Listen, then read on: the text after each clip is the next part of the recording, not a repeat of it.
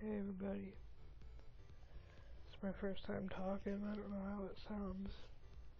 But just gonna tell you if you wanna join this guild on the Amazon version called Supre Supremacy.